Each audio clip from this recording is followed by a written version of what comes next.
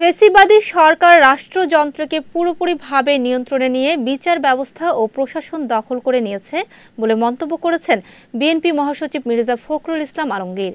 জাতীয় প্রেস ক্লাবে বাংলাদেশ ফেডারেল সাংবাদিক ইউনিয়নের বার্ষিক সম্মেলনে মির্জা ফখরুল এই মন্তব্য করেন। বিএনপি মহাসচিব বলেন, গণতন্ত্র কখনো সুষ্ঠু ও অবাধ হতে পারে না, যদি একটি শক্তিশালী, মুক্ত ও স্বাধীন গণমাধ্যম না থাকে।